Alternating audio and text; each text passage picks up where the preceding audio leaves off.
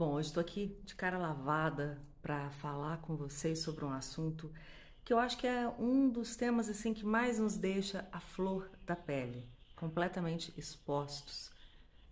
Eu acho que é um tema que a gente sobre o qual a gente evita muito ainda falar.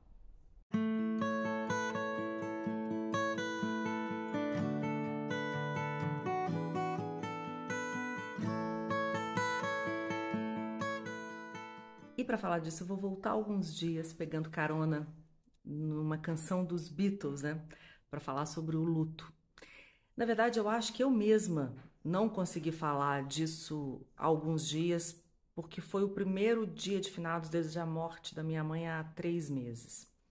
E se você me segue aqui no canal, você sabe que nesse dia, né, no dia 2 de novembro, eu fiz inclusive uma live sobre Now and Then, ou a última canção dos Beatles, e pensando assim sobre isso agora, eu acho que foi um jeito de eu me concentrar numa outra coisa. Mas ao mesmo tempo, né, a vida tem dessas coisas, ouvir a voz de John Lennon nessa música, né, que de alguma forma ele foi trazido de volta à vida graças à inteligência artificial que reuniu os Beatles, isso me fez pensar sobre a vida e sobre a morte. Na verdade, eu chorei muito ouvindo essa música. Se vocês não viram, eu recomendo muito escutar a última canção dos Beatles. Ela aquece o coração da gente. Então vamos lá. A partir disso, algumas considerações sobre o luto. Nada como o tempo. Eu acho que isso é o que a gente mais escuta quando está vivendo um luto. Mas vamos pensar juntos aqui.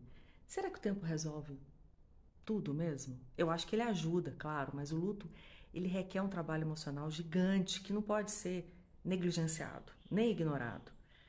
É, claro que não existe assim uma régua de tempo Claro que não existe um manual de instruções para lidar com o luto e cada um vai vivenciar isso do seu jeito, mas a primeira coisa que eu percebi foi que essa é uma falta irreparável na vida. Meu pai faleceu há 17 anos e, curiosamente, a morte da minha mãe trouxe o luto do meu pai de volta. Talvez porque tenha porque eu tenha sentido então uma sensação de orfandade completa, de desamparo. Não sei se aconteceu isso com vocês, né, no caso de quem já passou pela morte dos pais, mas é, eu achei isso bem inesperado. E aí o segundo ponto é que eu percebi que existe uma naturalização do luto dos pais. Né? Porque eles são velhos, porque esse é o caminho natural da vida, filhos enterrarem pais. Eu achei que a gente, depois da pandemia, tinha aprendido um pouco mais sobre o luto, né? sobre o impacto disso na vida das pessoas, sobre solidariedade, sobre empatia, e principalmente sobre não banalizar a morte. Peraí, gente, não vamos confundir natural, que a morte de fato é, com banal, o que a morte não é. Né? Se você já passou por isso, você sabe. A morte dos pais, né, por mais pacífica que ela possa ser, no sentido assim, é, de ser muitas vezes o fim até de um, de um processo de sofrimento, é, ou mesmo após uma vida longa, bem vivida, né, ela é impactante. Porque os pais da gente, eles são estruturantes na nossa vida, mesmo que você não tenha a melhor relação do mundo com eles, mesmo que haja conflitos, que quase sempre existem. Quando eles morrem, há algo que falta e que vai continuar faltando. Eu acho que a questão que se coloca é aprender a viver com essa falta. Né? Como disse um amigo meu no velório da minha mãe, ele disse: Dani, eu desejo que você consiga continuar sentindo a presença da sua mãe e que você continue a conversar com ela como eu converso até hoje. E não se espante se você conseguir até ouvir a resposta dela. Então, acho que a gente precisa viver os nossos lutos. Parece óbvio, mas eu acho que tudo nos leva a passar por cima das coisas que nos afetam, que nos abalam, né? Tem um excesso assim de positividade típica né, das redes sociais e tem um esfriamento das relações interpessoais, né, que eu acho que seguem assim cada vez mais uma lógica do instantâneo. A presença cada vez mais substituída pela mensagem de WhatsApp, né, pelo comentário na rede social, mas o luto é um estado emocional diferente que precisa ser cuidado, que precisa ser amparado, né? E aí eu tenho lido muito sobre isso e descobri que o luto, segundo especialistas, é, é um processo que pode durar meses ou até anos, né? E que, claro, ele vai ser diferente para cada pessoa. Isso precisa ser compreendido, isso precisa ser respeitado.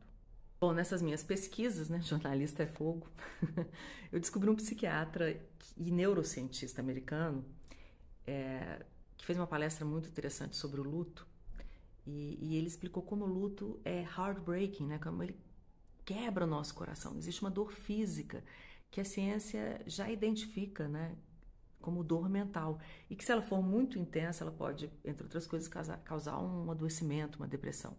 Claro que há medicações para isso. E medicações têm efeitos colaterais, como a gente sabe. E aí ele fala justamente sobre esses estudos que comprovam que existe uma forma absolutamente sem efeitos colaterais de fazer com que o nosso cérebro produza endorfina, que é o que ele precisa para reagir a esse estado emocional, essa dor mental, né? Quando a gente tenta confortar alguém que está lutando contra essa dor, contra essa perda, a gente ajuda a fazer com que o cérebro dessa pessoa libere endorfinas que vão ajudar né, nesse processo. E eu achei isso tão incrível, porque eu, tem tudo a ver com a minha experiência, né? Quer dizer, cada abraço que eu recebi durante o velório da minha mãe me fez ficar de pé. Cada abraço na missa de sétimo dia me ajudou a encarar os primeiros dias. Claro, aí vem o vazio depois. E aí, amizades, é preciso criar mecanismos para lidar com a tristeza. Dar um jeito de cuidar da gente com carinho, sem se preocupar com esse relógio dos outros, né? com esse tempo que para cada um vai ser diferente subjetivo. Né? E principalmente, e aqui eu acho que vai um alerta, a procurar ajuda se for necessário. Né? Se, se essa dor não couber mais em você. Voltando a Now and Then, a última canção dos Beatles, que foi uma música que mexeu muito com o coração da gente nos últimos dias, né? Porque ela reúne de novo esses quatro, essas quatro figuras icônicas, né? George, John, Paul e Ringo. Dois que já não estão, estão mais entre nós, né? Porque ela refaz o final triste de uma história que foi tão bonita, né? Mas eu acho que também aqui, claro, eu estou no exercício de livre interpretação. Eu acho que o Paul McCartney, principalmente, é com essa música, reunindo de novo os parceiros e, sobretudo, o John, né?